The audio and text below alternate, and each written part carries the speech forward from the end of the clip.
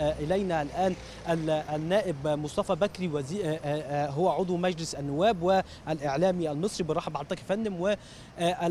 واختيار التوقيت تحديدا لإجراء تعديل وزاري من قبل رئاسة الجمهورية والحكومة المصرية في ذلك التوقيت.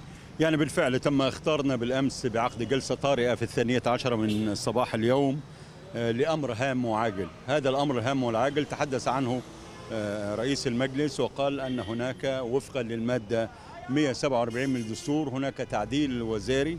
السيد الرئيس أخطر المجلس بخطاب. طلب فيه إبعاد عدد من الوزراء وإحلال عدد آخر من الوزراء محلهم.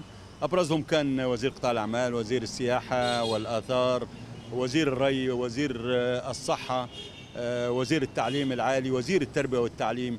والحقيقة أن هذا الاختيار وزيرة الصناعة أيضا هذه الاختيارات الجديدة يعني عكست رؤية القيادة السياسية لأهمية التغيير في هذا الظرف الراهن.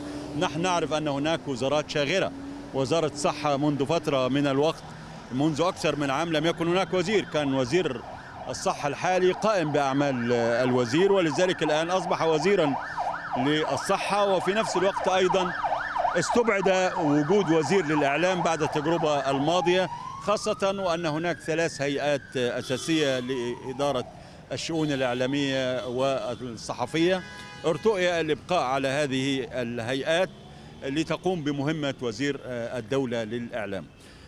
يعني البعض كان متصورا أن تعديلا كبيرا سيتم في المجموعة الاقتصادية ولكن يبدو أن الأحوال المالية والأوضاع المالية بالتأكيد في الفترة الراهنة رأت أنه من الصعوبة إجراء تعديل واسع في المجموعة الاقتصادية الحالية باعتبار أننا في أزمة اقتصادية راهنة وهناك من بذل جهد في هذا الملف. الخطوات المستقبلية يعني ماذا بعد انتهاء جلسة اليوم؟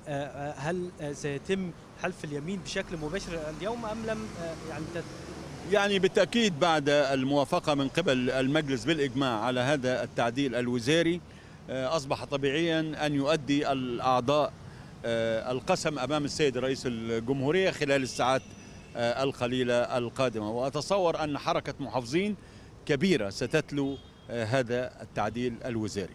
مصطفى بكري عضو مجلس النواب المصري بنشكر حضرتك على وجودك معنا على قناة الغد. إذا